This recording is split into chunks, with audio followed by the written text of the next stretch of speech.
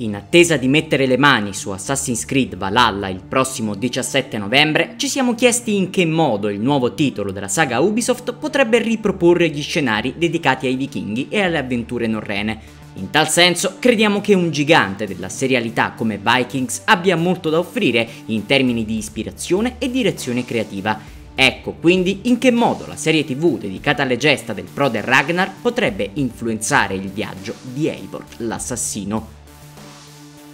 Iniziamo allora da ciò che non potrà mancare nel nuovo videogioco Ubisoft, i viaggi e la componente esplorativa. Se le imprese di Ragnar Lothbrok ci hanno insegnato qualcosa è che una parte essenziale della cultura vichinga è costituita dalla scoperta di nuove terre, con lo scopo di razziare ogni ricchezza durante la stagione primaverile ed estiva per avere risorse durante i rigidi inverni scandinavi e sarebbe persino banale rimarcare quanto un aspetto del genere si sposi perfettamente con un open world dalla scala imponente come quella di Assassin's Creed, sebbene necessiti di alcuni aggiustamenti.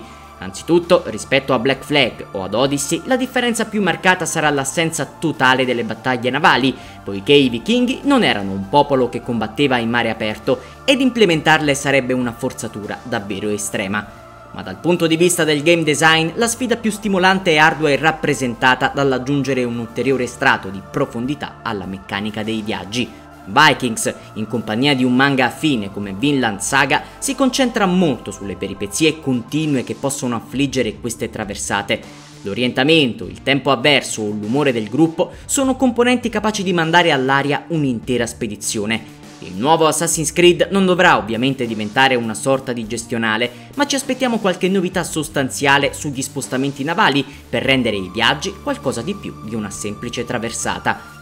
Il punto successivo non può che essere l'obiettivo una volta sbarcati a destinazione e qui Vikings si è sempre divisa in due colossali macrosezioni, le battaglie e gli intrecci politici.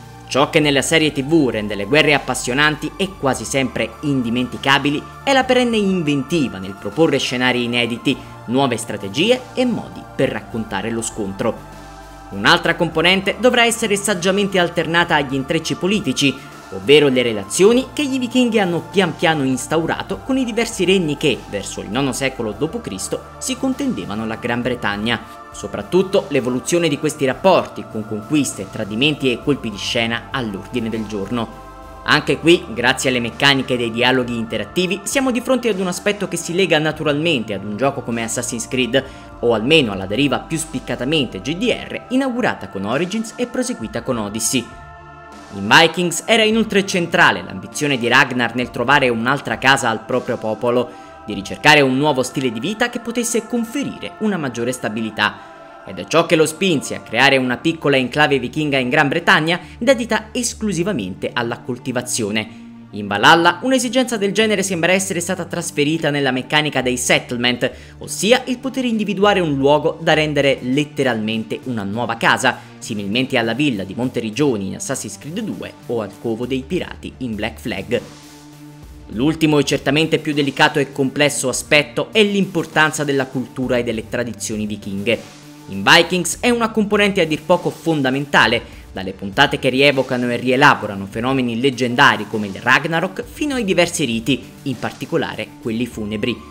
La serie addirittura frenava la narrativa pur di dare il giusto risalto agli usi e costumi di un popolo straordinario come quello scandinavo. Si tratta di espedienti soprattutto visivi e onirici e se da un lato le ricostruzioni maniacali cui la saga Ubisoft ci ha abituato fanno sperare per il meglio, dall'altro permane qualche dubbio. Gli sviluppatori hanno già confermato che una grande attenzione sarà conferita proprio alla vita quotidiana dei vichinghi e che la religione norrena avrà un ruolo cruciale, senza tuttavia entrare troppo nei particolari.